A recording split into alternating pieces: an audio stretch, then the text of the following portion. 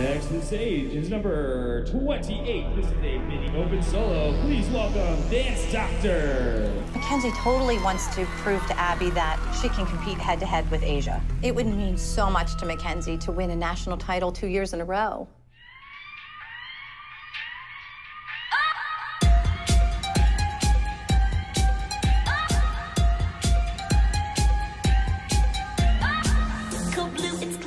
We have an emergency.